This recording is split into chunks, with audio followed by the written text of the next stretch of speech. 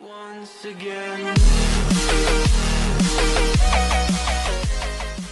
Hello, it's Jimmy here at O'Riley's and we are looking at another Range Rover Evoque 2.0 Ingenium diesel with the AdBlue system. Inside the car there you got the DPF filter is full and the engine management light on.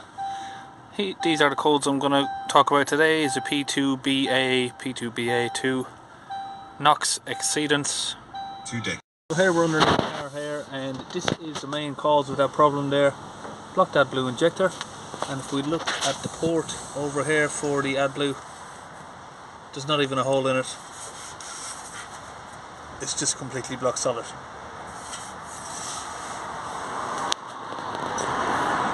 So we're going to use a little pick tool here to uh, clean it out.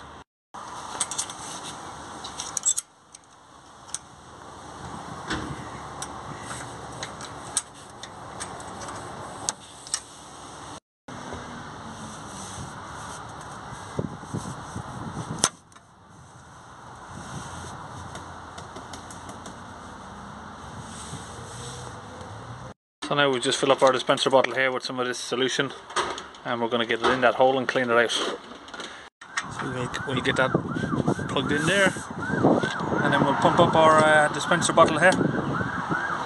Just pump that in there, fill it with fluid.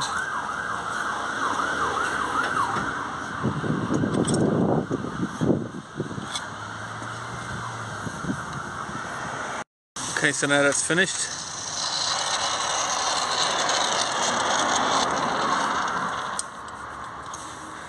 We can uh, now get this all back together. Okay, we're going to start the car up now.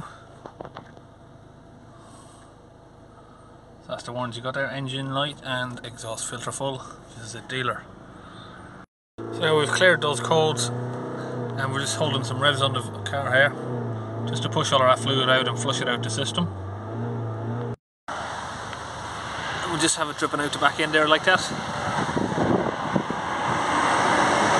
We're just taking it on a test drive there to make sure the grams of soot are down below where they should be and everything else is where it should be. And now that's all fine there so we're going to press OK and we are finished.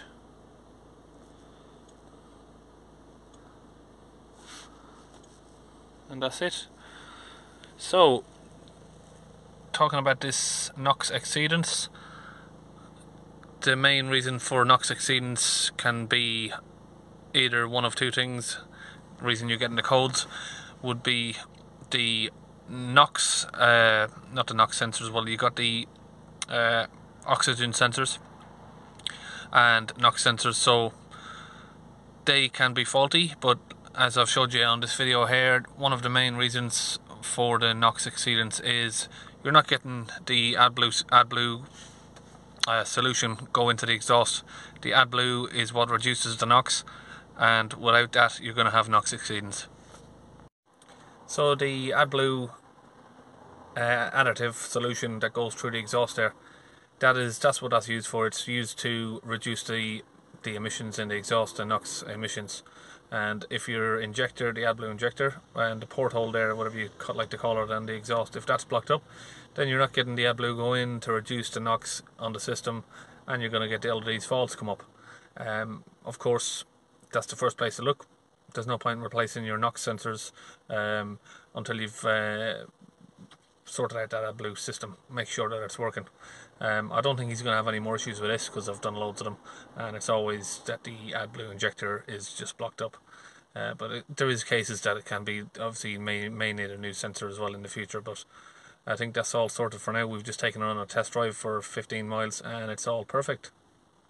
So that's it. We're all done on this one. We'll see you in our next video.